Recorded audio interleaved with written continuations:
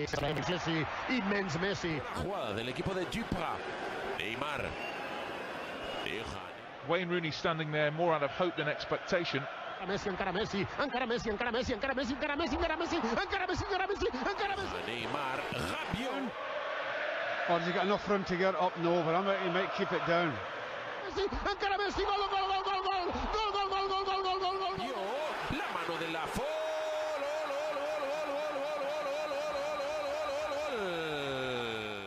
Here he comes. Oh my word! Can you believe the genius of this man? What a hit! David James stood like a statue and already Salut à tous, footeuses et footeux de bonne famille, c'est Thomas, bienvenue pour ce grand euh, décrassage numéro 9. Voilà, je sais faire ça avec mes mains. Euh, où on va débattre de l'actualité, euh, pour ceux qui connaissent, hein, euh, du football en général. Il n'y a pas eu de championnat domestique ce week-end, c'était la trêve internationale cette semaine, pardon. Donc, match international oblige. Maillot d'équipe de France. On va parler donc des Bleus et de ces deux séries de matchs amicaux qu'il y a eu contre le Pays de Galles, notamment victoire 2-0 au Stade de France, et le match de demain contre euh, l'Allemagne, contre la Mannschaft à Cologne à 20h45, qui sera à mon avis un tout autre match vu euh, euh, la faiblesse du Pays de Galles quand même pour cette première confrontation. On ouvrira un peu le grand décrassage sur Karim Benzema, l'interview d'hier. hein, L'attaquant du Real de Madrid, c'est un peu confié aux journalistes du Canal Football Club quant à cette situation par rapport en équipe de France. Et je vous exposerai aussi dans une deuxième partie le top 5 de mes 5 futurs euh, ballons d'or. Voilà, pour moi, euh, qui seront, euh, qui succédera à CR7 et à Messi. Mais tout d'abord, on va ouvrir le grand décrassage numéro 9 avec l'ami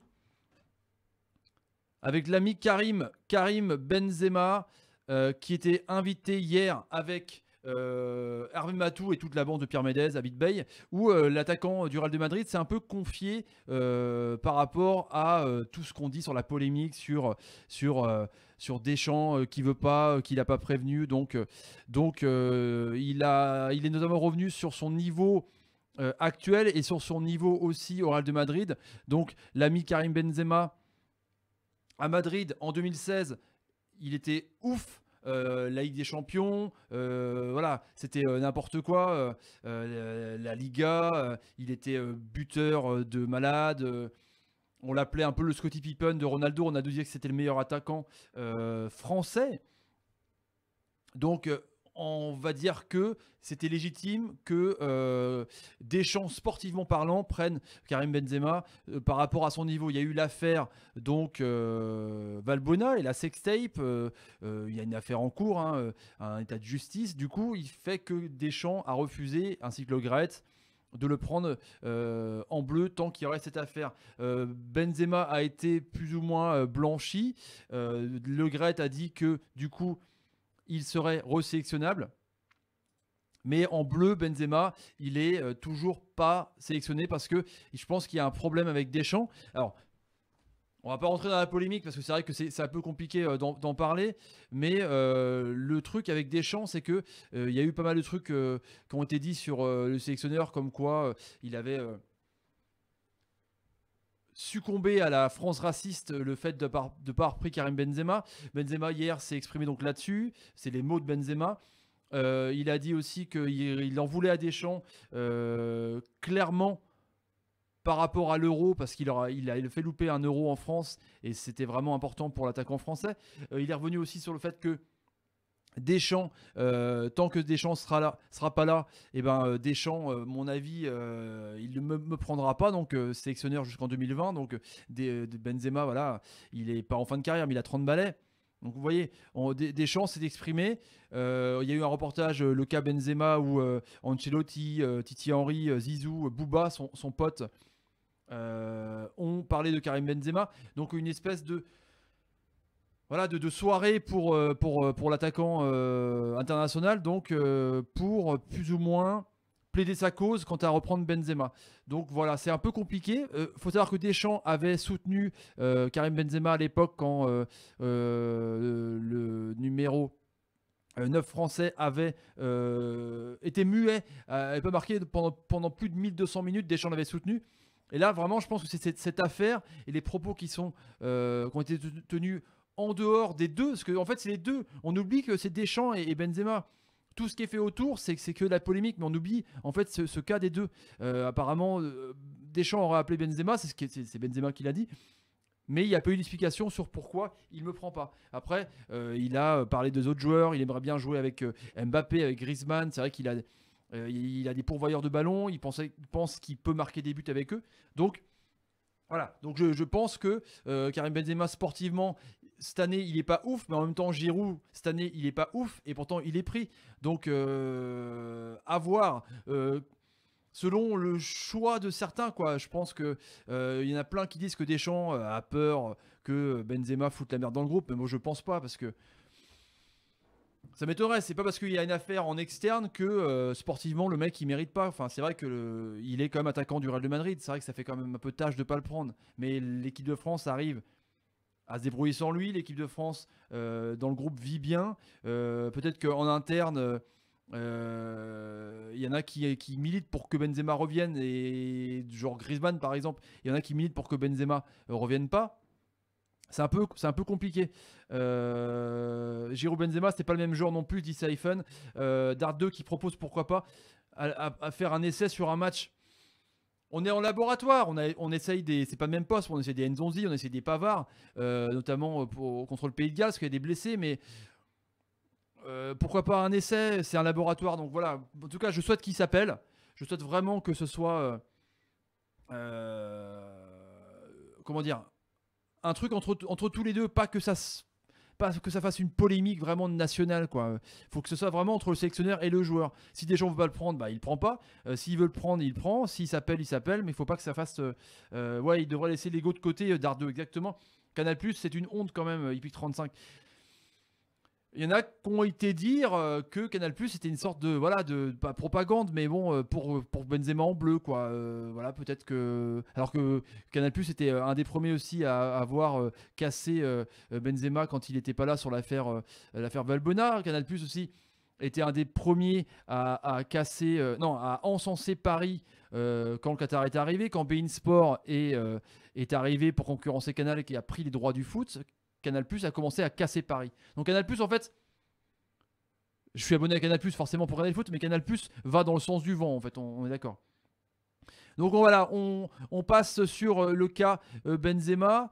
Euh, Maintenant, on va passer sur le match des Bleus qu'il y a eu contre le, Pays de Galles. Euh, C'était un, match plutôt intéressant. Euh, J'ai mis un petit synthé. Je pense que vous allez être d'accord avec moi euh, parce que euh, il y a eu quand même du changement dans cette équipe et euh, je vais attendez, je vais enlever ça parce que Canal Plus, c'est pas, euh, il passe pas les matchs de l'équipe de France, hein, c'est encore sur TF1 jusqu'à quand on sait pas. Voilà. Tolisso, nouveau patron. Deschamps, euh, on est à quelques mois de la Coupe du Monde 2018, on est qualifié, tout va bien. Maintenant, on va se taper des matchs amicaux. Comme j'ai dit dans, dans une vidéo que j'ai fait euh, euh, en avant-match contre le Pays de Galles, c'était pas le Pays de Galles qui était, euh, qui était décidé pour, euh, pour, euh, pour, pour, pour, pour jouer ce match. pardon. C'était l'Italie, mais l'Italie fait son barrage. Et après, il y a eu l'Argentine pour les problèmes peut-être trop chers ou pour les problèmes peut-être euh, pas envie, peut-être. Euh, on devait jouer contre eux et du coup il y avait une confrontation peut-être plus élevée donc ça a été le pays de Galles sans Gareth Bale avec euh, voilà avec les Kings avec euh, les Hennessy dans les buts euh, avec les Ramsey bon c'est pas une équipe oufissime du coup il n'y a pas eu trop trop trop trop de de, de, de, de, matchs pas trop il n'y a pas eu trop de- ils n'ont pas forcé leur talent les Bleus en tout cas je trouve et euh, mon top mon top a été euh, dans ce match euh, ça a été forcément bon on l'aime on l'aime pas mais Giroud il joue pas avec Arsenal. Il est blessé pour demain, on va, en reparler. Et il marque 29 buts. 8 buts en 8 matchs. Euh, pour l'ami Giroud, il marque un but sur, sur, sur une passe D. Voilà. Je sais pas. Je sais pas quoi dire avec Giroud. Il est à un but de Papin. Vous imaginez? Il est complètement critiqué, le profil est nul, Deschamps l'aime bien parce que c'est un point d'appui, vu que Deschamps n'aime pas trop faire euh, de la possession de balle. Euh, du coup, bah, il reste, comment dire, il reste en point d'appui, il saute euh, le milieu de terrain. Du coup, bah, ça fait remonter un peu les ailiers. Voilà, c'est le jeu à Deschamps. Deschamps est un jeu italien, le Catenaccio, qui a un peu changé d'ailleurs, parce que la Serie A est beaucoup plus, euh, beaucoup plus euh, ouverte, et avec le Naples, euh, avec la Juve, ça joue quand même mieux. Mais Deschamps aime bien ce profil, et force est de constater que, que Giroud, il est efficace quand même. Il marque à chaque fois, à chaque sortie, alors qu'il joue pas contre... contre il joue pas à Arsenal. voilà. Kylian Mbappé qui a été monstrueux, qui a fait un poteau, qui a qui a, montré vraiment que c'était, ça pouvait être un titulaire indiscutable euh, à droite. Ça dépend quel système. euh, en équipe de France, ça peut être en pointe, mais là il joue à droite à Paris, il joue à droite euh, en équipe de France, et là il a été énorme. On a reconnu le feu follet, on a reconnu les dribbles, on a reconnu les jeux simples, on a reconnu les passes D, on a reconnu les passes D, du moins les, passes intelligentes pour, pour comment dire, faire briller les attaquants en fait. On attend ça de lui. Et la mini crise qu'il a eue euh, au PSG où on avait dit ouais vous avez vu euh, Mbappé un peu euh, en crise il n'a pas digéré son, transfert pardon et du coup il s'est bien remotivé il a été rebond avec Paris Saint-Germain avec des passes et des buts il est bon à l'équipe de France il a 18 ans il arrive à vraiment à oublier toute la pression médiatique c'est un truc de ouf quoi euh, il a eu une crise d'une semaine, mais c'est les médias qui ont dit qu'il y avait, une crise. Pour lui, c'était juste peut-être une petite baisse de forme où ça arrive, un changement de température. euh, euh, voilà, euh, ça, arrive complètement. Euh, moi, mon top aussi, dans mon troisième, c'est Tolisso, Corentin Tolisso, le, le, milieu de terrain du Bayern de Munich, qui clairement euh, fout la merde dans le milieu de terrain. Pogba est blessé quand t'as- quand, Kanté, rien à voir avec Bertrand Cantat. Euh, Pogba est blessé, Kanté euh, est blessé. Sissoko n'était pas là parce que Sissoko euh, sert pour euh, contre les grosses équipes. On est d'accord que Deschamps, euh, Sissoko il va être contre l'Allemagne, hein, ce sera milieu à 3. Deschamps contre une équipe faible euh, met un 4-4-2 avec deux milieux de terrain. Euh, et Deschamps contre une équipe forte euh, met son soldat euh, euh, Sissoko de Tottenham et euh, voilà et euh, ferme le jeu et euh, déjà que c'est pas terrible en 4-4-2 mais alors là exactement Dart 2 euh, Tolisso il a joué 46 minutes en gros il a été remplacé ensuite au milieu de terrain. Mais on voit quand même que en rôle de double pivot il est intéressant. Il arrive à à la manière un peu de Verratti, il arrive à conserver le ballon, se retourner et lancer, lancer le numéro 8, qui était en l'occurrence Matuidi avec lui, pour casser les lignes. Et je trouve que là, il va peut-être foutre la merde Pogba. J'ai du mal à croire que Pogba va retrouver son niveau, parce que Matuidi, Matuidi, le profil est énorme.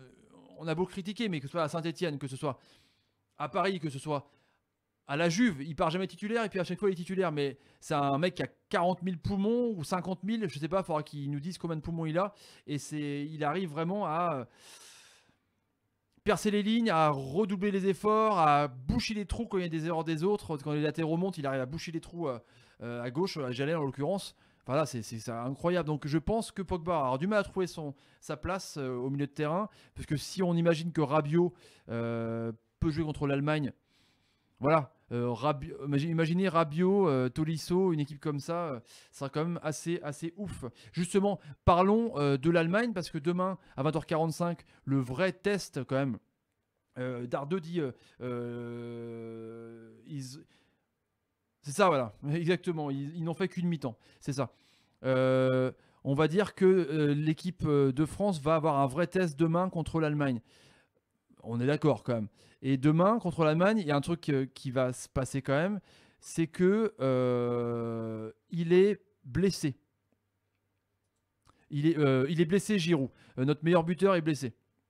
C'est quand même assez embêtant. On est quand, même d'accord. Donc le, problème, c'est que il y a plein de solutions, on est d'accord. Mais est-ce que c'est pas une solution pour la casette justement C'est pour ça que j'ai mis la casette en pointe. C'est marrant parce qu'ils ils se croisent Giroud et la casette.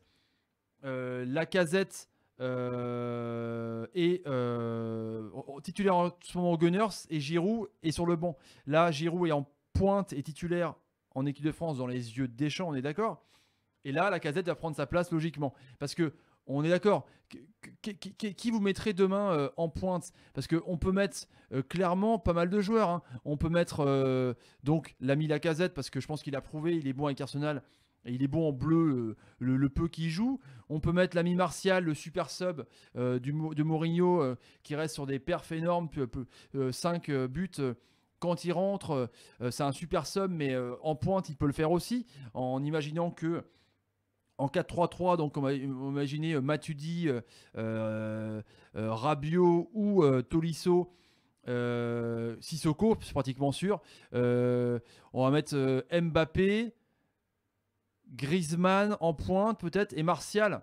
Il y a Coman aussi. Ou alors, ou alors on met, ou alors on met Fekir à gauche, Mbappé à droite. Et ces cas-là, on met l'ami de Fekir à gauche quoi. Griezmann, Fekir à gauche et Mbappé. Je pense que ça, pourrait être ça. Euh, Lord, Lord Co 67 qui dit euh, Martial à gauche, Griezmann en pointe, Mbappé à droite. Ouais, mais carrément, carrément, c'est- bien ce que tu dis, Lord Co. C'est ce que je pense, ouais. Euh, mais euh, ce qui m'énerve, c'est que Fekir, on va pas encore le tester euh, assez euh, euh, dans cette dans, dans, dans, ces dispositions euh, tactiques offensives. Euh, J'aurais préféré voir plus euh, euh, l'ami Fekir parce que Fekir c'est un concurrent à Griezmann, parce qu'on a vu que Griezmann était le vrai patron quand même. Il, a, est redescendu, euh, il a touché presque so- 79 ballons, c'est quand même énorme. Euh, Griezmann est descendu, presque euh, au milieu terrain, au niveau du 6, pour récupérer des ballons. Comme il, à l'Atletico, en ce moment, il le, fait. Il est au four et au moulin. Il, dé- il- descend numéro 6 euh, pour euh, remonter les ballons. Du coup, euh, il arrive un peu crevé pour être efficace à Atletico Madrid. Bon, là, il a marqué un but avec quand même une sacrée aide de Hennessy. Hennessy, regarde le geste tellement beau et il, hop, une savonnette quoi. Et du coup, Fekir, j'aurais bien voulu qu'il soit un peu plus testé, mais je pense que Lord Cote a raison. À mon avis, dans ce système-là, il y aura Martial, euh, Griezmann et Mbappé. À mon avis, ça va être ça. Euh, le Dragon Breton qui dit Fekir en 10, mais ouais, c'est clair. Mais là, le problème, c'est que Deschamps, contre une équipe euh, costaud comme l'Allemagne, il va mettre euh, clairement, c'est obligatoire qu'il mette Sissoko. Je comprendrai même pas qu'ils mettent Sissoko. Alors, quand il dit Deschamps aura dû faire tourner contre le Pays de Galles et mettre son équipe la plus, type contre l'Allemagne. Mais c'est ça, c'est carrément ça. Mais Deschamps, grand entraîneur qui soit, hein, on est d'accord, il a Juve, Monaco. le truc, c'est Marseille. Le truc, c'est que euh, il n'aime pas trop les tests, on va dire. Globalement, on le fera dans un grand décrassage prochain. On a, on a le, on a euh, globalement le- les 23. Il n'y aura pas de surprise. hein. D'ailleurs, n'hésitez pas hein, sur le hashtag El Grande pendant la semaine si vous voulez. Écrivez-moi vos, euh, vos 23. D'ailleurs, ce sera le, la prochaine euh, question pour euh, le prochain grand décrassage. Mais on n'aura pas de surprise. Il n'y aura pas de Chibonda. Ne vous inquiétez pas. À mon avis, euh, euh, Deschamps n'aime pas trop les tests. Et là, il a voulu euh, mettre son équipe type contre le Pays de Galles. Et là, il va mettre globalement son équipe type aussi contre l'Allemagne, mais avec Sissoko en plus. Donc ça va retirer une arme offensive. Quoi. Ça va être un jeu où on va jouer derrière et jouer en contre sur Mbappé, sur Martial. Donc je pense que leur côte a raison. À mon avis, ça va aller vite devant et, et ça va jouer en, en contre. Donc voilà. Euh, pour le- l'Allemagne, je pense que euh, le match sera, important aussi, parce qu'ils ont fait un match nul contre les Anglais en match amical. Donc je pense qu'ils ils, auront envie de, nous défoncer clairement, hein, carrément, parce que l'Allemagne, une, petite revanche hein, de, de l'Euro, euh, une petite revanche de la Coupe du Monde, pardon, euh, où on les avait battus. Oh non, petite revanche euh, de la Coupe du Monde, où justement, où, on les avait battus sur, euh, sur euh, le, fameux but euh, pris par, euh, par Varane. Souvenez-vous. Oh là là là là là là. Vous vous souvenez de la Coupe du Monde, c'était, chaud. Donc voilà, je pense que les Allemands vont vouloir mettre le paquet, donc euh, euh, les Thibaut Werner, euh, les Müller, euh, voilà, à mon avis ça, ça va, ça va aller et on va, on, va, on, va, on va attendre le ballon dans notre camp, on va laisser euh, jouer euh, la technique de Love euh, un peu à ses possessions de balles tiki-taka et je pense qu'on va, à mon avis, on va se, ça va être compliqué. Ça va peut-être jouer en contre, ça va peut-être jouer sur un contre de Martial ou de Mbappé, mais on verra vraiment le talent justement d'Mbappé. Peut-être que ça va... Ouais, c'est un match amical d'Ardeux. Peut-être que ça va montrer aux yeux du monde entier, peut-être, que Mbappé est un, est un monstre et peut-être que ça va faire, faire peur pour la Coupe du Monde. Parce que le but des matchs amicaux, c'est certes faire des tests, mais c'est aussi d'engranger de la confiance, de trouver des combinaisons et de montrer qu'on est, on est fort. Parce que sur le papier, on est quand même une équipe assez euh, monstrueuse. C'est ça, but de Hummel sur un Varane trop spectateur. C'est ça exactement, Lord, Co- Lord Co 77. Euh, le match commence à quelle heure? Euh, Non, je diffuse pas parce que c'est interdit. Malheureusement, il commence euh, à 20h45. C'est sur TF1, de toute façon, c'est euh, c'est gratuit. hein. faut juste payer la redevance télé. Euh, L'ami What the fuck, Greg Bellet. Donc voilà pour les pour les- l'équipe de France et pour les Bleus. Donc on, évidemment sur la chaîne Thomas Parle Foot, je vous invite à vous abonner. Je ferai évidemment un avant-match et un débrief de ce match contre la Mannschaft demain à 20h45. Donc on va passer maintenant à la deuxième partie de cette émission. le grand décrassage, où je vais vous exposer, comme j'avais fait la dernière fois, mon top 5 du numéro, du numéro 9 mondiaux. Pardon, je vais vous exposer maintenant mon top 5 des futurs ballons d'or. Ouais. Aussi simple que ça. Le top 5 des futurs ballons d'or. Euh, J'aime bien le côté où en fait où on partage avec vous, les viewers, euh, les successeurs de CR7 et de euh, Messi. Euh, les mecs qui trustent depuis euh, 10 ans euh, euh, le, trophée France Football. Donc là, j'ai envie de vous, montrer un peu demain euh, qui sera euh, Ballon d'Or. Donc on va commencer par le top 5, les amis. Ça a été difficile pour moi hein, euh, de, départager parce que euh, c'est des coups de cœur que j'ai et c'est. et C'est pas du football manager, mais c'est c'est par rapport à la progression qu'ils ont euh, vraiment euh, dans leur club. Alors, numéro 5, les amis. Attention, oui, hors Ronaldo, hors Messi, euh, Lordco. C'est parti, numéro 5, c'est l'ami Asensio, Marco Asensio, euh, le transfuge du Real de Madrid. Euh, 11 matchs joués euh, cette année, 4 buts marqués. Je trouve que bon, c'est un joker. Et c'est un joker, il, est relativement, euh, euh, jeune, il a 21 ans. Il a été euh, monstrueux en équipe d'Espagne avec les espoirs. Je trouve que c'est quelqu'un qui arrive à prendre le jeu à son compte. Il marque des buts de, de, de malade de ouf. C'est un joueur qui, qui, qui pue le foot, qui a la classe internationale.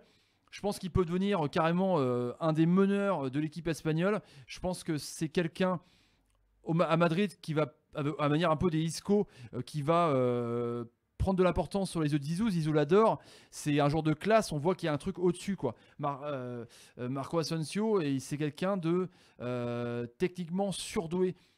Je le mets dans la classe un peu des, Messi et pas des bosseurs comme CR7. Euh, Ronaldo est un talent de ouf, mais il bosse comme il bosse vraiment aux entraînements, sur les coups francs, sur la musculation. Mais Asensio pue le foot. Franchement, je trouve que ce, joueur, euh, à mon avis, on va, on va en reparler parce que c'est que- c'est quelque chose euh, vraiment. euh, c'est quelqu'un de, super fort et de super talentueux. Maintenant, mon top euh, 4. et ouais. C'est le Belge Dries Mertens, le, la star euh, du, du Napoli, le, milieu de terrain un peu de poche, 1m69 euh, de Naples, le Belge, euh, les Diables Rouges. Je trouve qu'il est énorme. Il est, à 12, 12 matchs, donc depuis début de saison. Il est à 10 buts. 10 buts depuis le début. C'est lui vraiment qui tient, pas à bout de bras, mais qui lance l'impulsion pour Naples, qui veut le calcio vraiment énorme, énorme, énormément cette année. C'est vraiment le, le projet de ouf cette année. Je trouve que c'est. euh, il a, par contre, voilà, le problème c'est que c'est pas une révélation, c'est qu'il a 30 ans. Mais je trouve que cette année, euh, s'il fait quelque chose à la Coupe du Monde, c'est simple, on va pas se cacher. Si on gagne la Champions, si quelqu'un gagne la Champions League, si quelqu'un gagne championnat dans son pays, ou si quelqu'un gagne euh, une compétition internationale, t'as le Ballon d'Or logiquement. Mais bon, ça s'est déjà arrivé avec Schneider euh, qui l'a pas eu, c'est déjà arrivé avec Iniesta notamment, ou Xavi euh, qui l'avait pas eu. Donc bref, mais je trouve que Mertens, euh, c'est un joueur. euh, à Naples, forcément, euh, par rapport à Maradona, on compare un peu. Attention à la comparaison. On compare un peu à Maradona justement. La façon de, dribbler entre les petits espaces, à, la manière un peu de Messi, ces petits euh, milieux de terrain de poche. je trouve que c'est, assez monstrueux. Alors, le numéro 3, ça a été compliqué pour moi.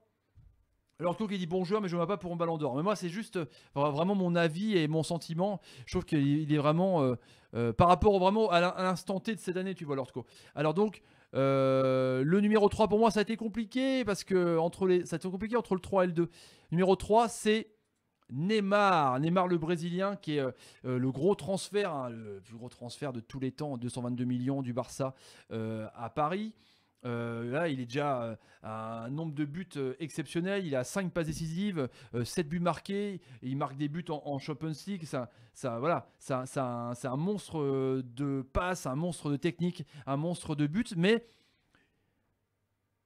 par rapport au deuxième que je vais choisir, j'ai jamais été grand fan de Neymar ni, au Barça en fait. C'est vrai que c'est un, un dribbleur de fou. D'ailleurs, je vous invite à regarder la vidéo que j'ai faite sur lui par rapport à ses frasques et ses entraîneurs. Justement, c'est peut-être pour ça que je le mets numéro 3. Mais euh, c'est quelqu'un qui euh, aimante le jeu. C'est quelqu'un qui euh, va décider un peu de comment l'équipe joue. Clairement, il est venu à Paris pour quitter Messi qui, qui- qui prenait toute la lumière pour le ballon d'or justement et pour avoir son propre ballon d'or. Donc à Paris, il faut qu'il soit le boss, faut qu'il marque des buts, il le fait, il faut qu'il fasse des passes décisives, il faut que ce soit le maître à jouer un peu de, ce Paris Saint-Germain. Et Neymar est allé complètement les épaules pour enfin faire passer le cap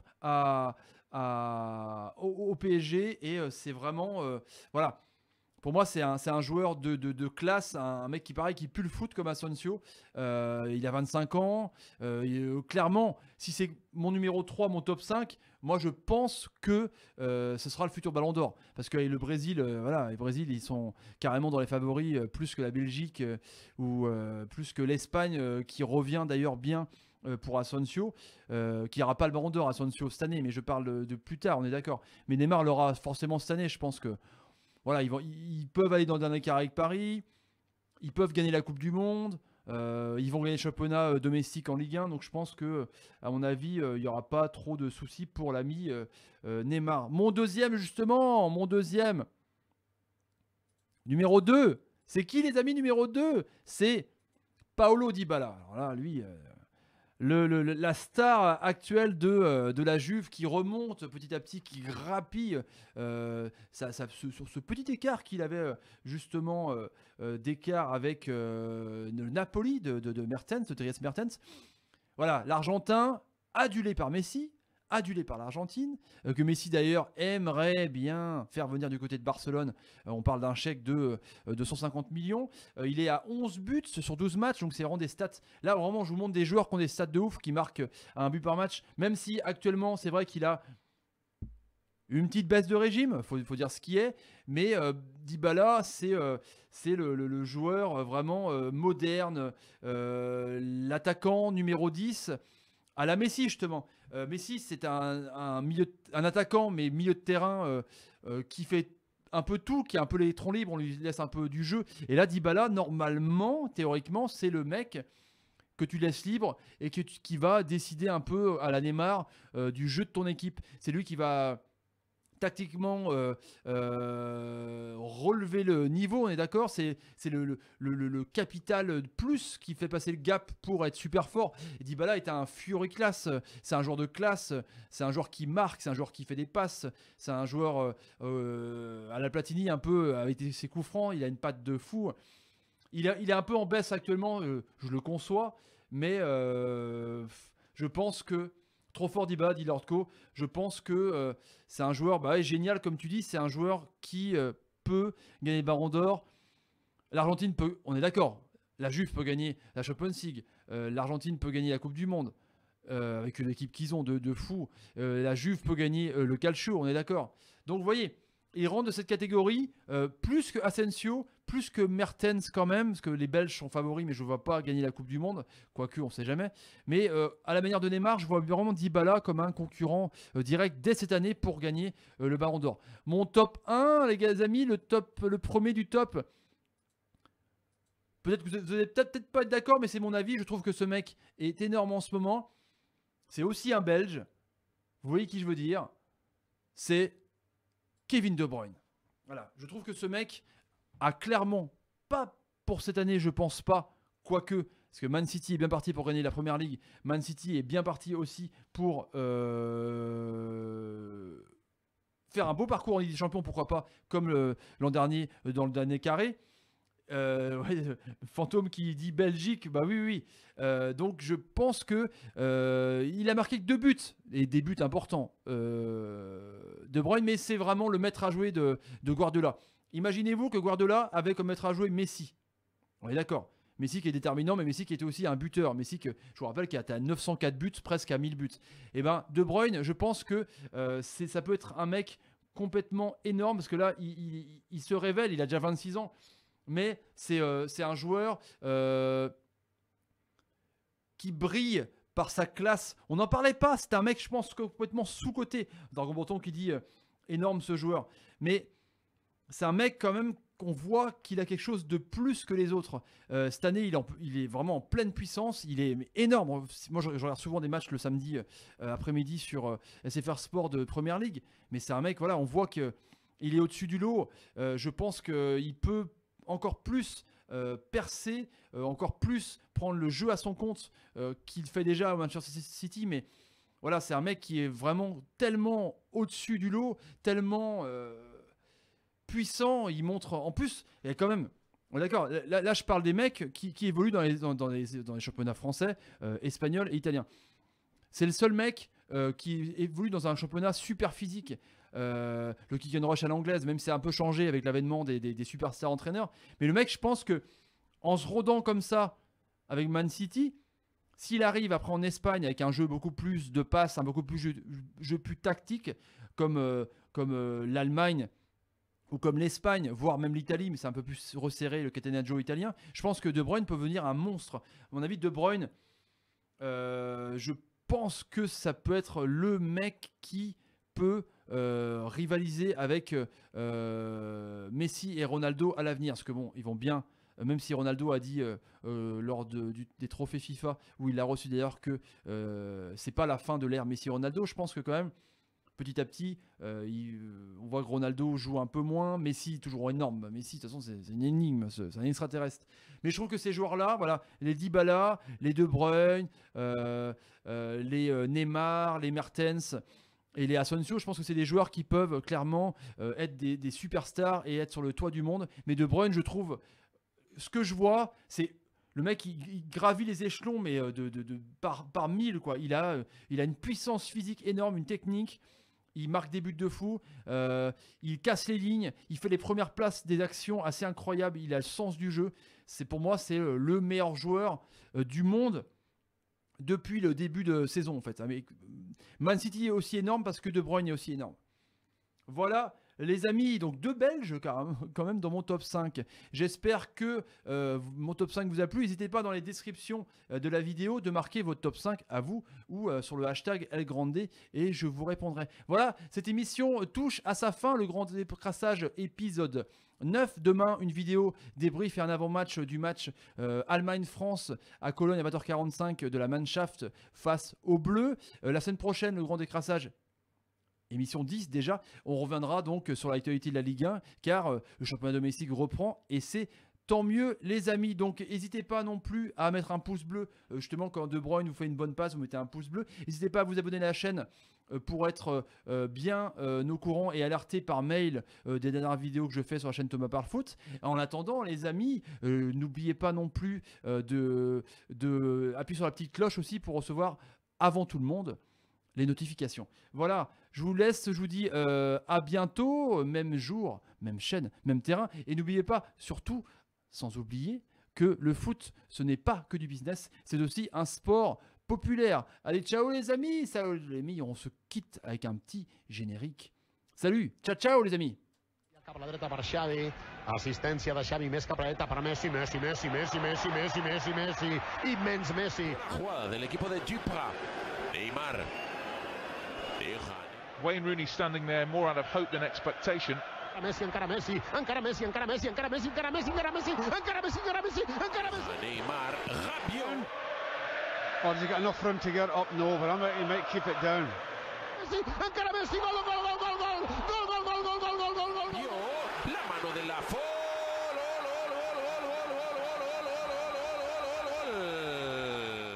Gol, gol, gol, Can you believe the genius of this man? What a hit! David James stood like a statue and already